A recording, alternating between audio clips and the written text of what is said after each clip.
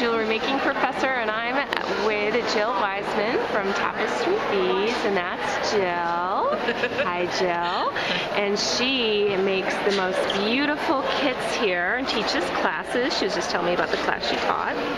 Um, and these are beautiful, intricate, delicate, gorgeous, like painting with beads here.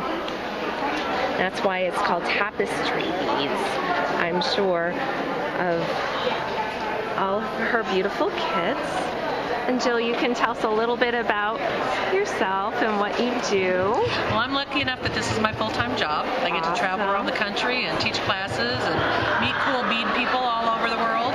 And uh, so we sell kits and patterns and then bead shows and bead societies and bead stores. I, I get to go around and teach classes all, all over.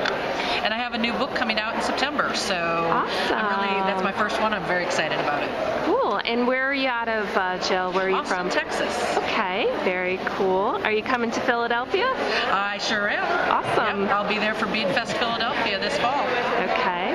Cool. And you have a website too. I sure do. www.tapestrybeads.com. Awesome. Thank you so much.